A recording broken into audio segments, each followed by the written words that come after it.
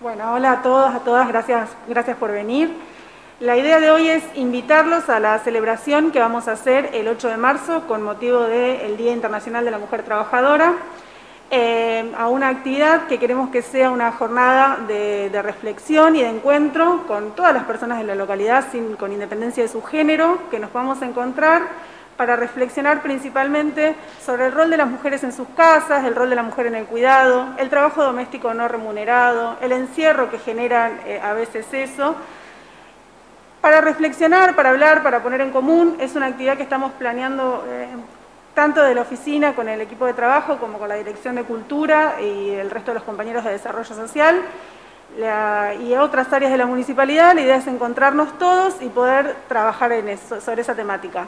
Además de la oficina específica, van a estar las compañeras de la Comisaría de la Mujer y la Familia, también con la idea de acercar nuestra oficina y la comisaría a la comunidad por las dudas que surjan, las reflexiones o todo lo que nos quieran ah, decir.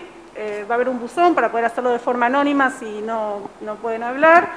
Y bueno, y nutrirlo un poco con, eh, bueno, ahora César va a contar audiovisual y demás. Em, nada, encontrarnos, reflexionar y plantear dudas, sugerencias para continuar nuestro trabajo. César, ¿cuáles son las actividades que se van a realizar y cuál es el día que se va a realizar esta actividad? Bueno, muy buenos días. Tengan todos y todas. Las actividades van a comenzar el día lunes, el día lunes 8, a las 18.30 en el anfiteatro de la Diagonal. Eh, todas las actividades van a ser participativas, van a ser de intercambio, eh, así que, como decía Belén, están invitados, invitadas a participar de, este evento.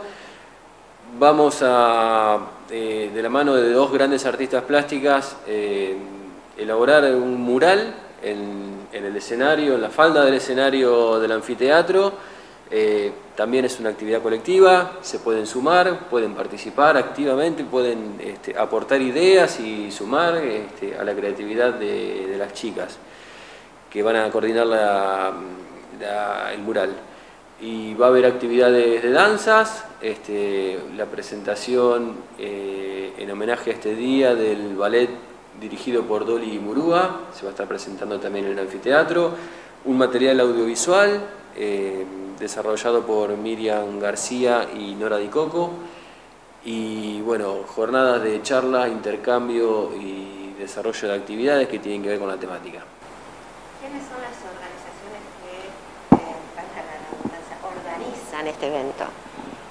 Desde la municipalidad eh, estamos con la Dirección de Cultura, con Desarrollo Social, la Oficina de Políticas de Género, eh, Secretaría de Seguridad y con eso eh, la Comisaría de la Mujer y la Familia. Y bueno, estamos invitando a que se sumen todas las organizaciones que, que, creyeran, que quieran aportar y que quieran venir. Es, es, el mismo lunes, es a las seis y media de la tarde, prevemos una jornada de muchísimo calor ese día, entonces para encontrarnos a la tardecita, también para que se pueda ver el, el material audiovisual que está preparado. Y la idea de todo esto es que sea colectivo y participativo, ¿sí? entonces que, podamos hablar, que podamos reflexionar, que eso quede plasmado en ese mural y en toda la actividad que se realice en el día. ¿Quiénes son las artistas plásticas? Florencia Orrego y Vanessa Morrone.